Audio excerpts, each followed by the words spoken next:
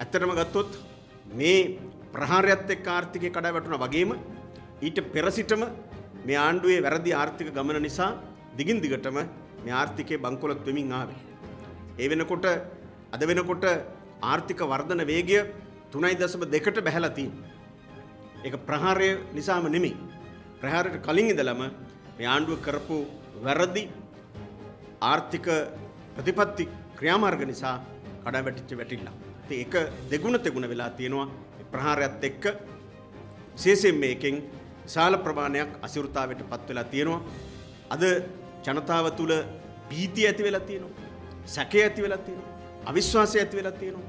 මේ ප්‍රහාරය සිද්ධ වෙලා දින ගණනාවක් ගිහිල්ලත් තවම පාසල් නිවැරදිව විවෘත කරලා පාසල් දරුවන්ට 44 ලක්ෂයක් වෙන පාසල් දරුවන්ට අධ්‍යාපනය ලබා ගැනීමේ අවස්ථාව හිමි කර දෙන්න ආණ්ඩුව අසමත් වෙලා තියෙනවා.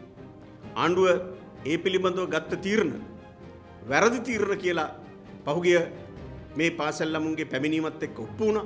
ඒ කියන්නේ ආණ්ඩුව රටේ ආරක්ෂක තත්ත්වය තහවුරු නොකර පාසල් දරුවන්ට ඉස්කෝල වලට එන්න කිව්වට එහෙම පාසල් දරුවෝ ඉස්කෝලේ යන්න සූදානම් නැහැ.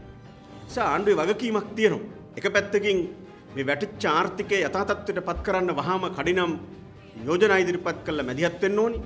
දෙවනුව මේ ජනජීවිතය අඩාල වීම වහාම යථා තත්ත්වයට පත් කරලා සාමාන්‍ය ජනජීවිතයක් ඇති කරන්න මහාම ආණ්ඩුව පත් මැදිහත් විය යුතු තියෙනවා. ඉතින් මේ දෙකම අද සිද්ධ වෙන්නේ නැහැ. ඒ නිසා තවමත් සැකය, අවිශ්වාසය, අස්ථාවරත්වය හැමතැනම තියෙනවා.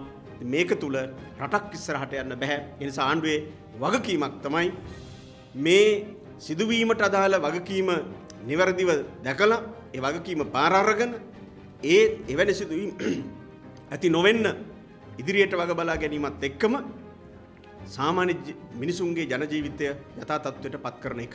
නිසා ආණ්ඩුවට අපි අවධාරණය කරනවා වහාම මේරට මේ ප්‍රහාරයත් එක්ක කඩාවැටි චාර්ථිකයේ විශේෂයෙන්ම සංචාර කර්මාන්තයේ නියුක්ත විවිධ ශේෂ්ත්‍රවල අයට වහාම ආණ්ඩුව මගින් ආර්ථික සහන පැකේජයක් දෙන්න එහෙම පැකේජයක් කරා ඒ අයගේ ජනජීවිතය ජීවත් කරවීම සඳහා මැදිහත්වීමක් කරන්න අනිත් පැත්තෙන් මේ මේ ඇති වෙලා තියෙන අස්ථාවරත්වය වහාම අවසන් කරලා සාමාන්‍ය ජනජීවිතයක් ඇති කරන්න වහාම පියවර ගන්න කියන එක අපි ආණ්ඩුවට අවධාරණය කරනවා.